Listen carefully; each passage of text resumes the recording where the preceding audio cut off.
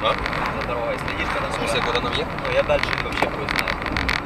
Ебать, я сразу не, не доверял. Ну, после Мерефа... да ладно, я штурман еще тот.